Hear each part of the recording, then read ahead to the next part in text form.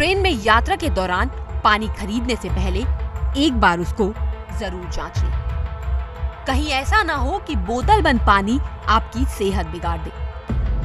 Deendayal Upadhyay railway station पर घुमंतु युवक प्लेटफॉर्म पर यहाँ वहाँ फेंकी बोतलों में पानी भर के सील बंद कर यात्रियों को खुलेआम बेच रहे हैं। जबकि रेलवे के आला अधिकारी मूक दर्शक बने सिर्फ़ देख रहे हैं। यहाँ धड़ल्ले से असली बोतल नकली पानी का खेल चल रहा है।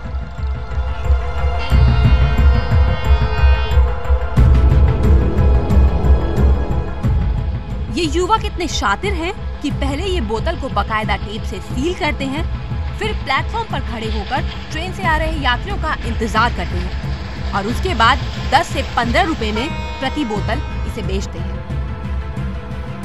अधिकारियों की नाक के नीचे पूरे स्टेशन परिसर में असली बोतल, नकली पानी का खेल चल रहा है और जिम्मेदार अधिकारी अनजान बने रहने का ढोंग रच रहे हैं। प्रकार की कोई घटना आप लोगों के संज्ञान में आती है तो आप हमको तुरंत सूचित करें, किसी भी किस्म की अवैध पानी की सप्लाई या गंदे पानी की सप्लाई किसी यात्री को मेरे संज्ञान में अभी नहीं है।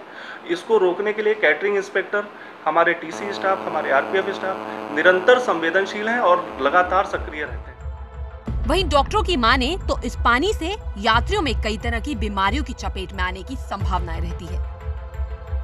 वेस्ट बोतल में पानी भर के पिला रहे हैं वो तो बहुत ही इन्फेक्टेड वाटर्स होता है।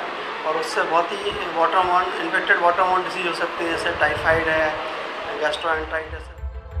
तो इस बात का ज़रूर ध्यान रखिए कि अगर आप स्टेशन पर हो और आपको प्यास लगे तो सिर्फ़ बोतल बंद पानी स्टॉल से ही खरीदें। आरपीएफ जीआरपी और रेलवे के आला अधिकारियों के नाक के नीचे ये पूरा कारोबार चल रहा है जबकि रेलवे के अधिकारी इससे अनजान बने रहने का ढोंग कर रहे हैं। असीम बड़ा सवाल है यात्रियों के स्वास्थ्य से हो रहे खिलवाड़ को रोकेगा कौन? कमलेश गिरी ईटी भारत चंदौली।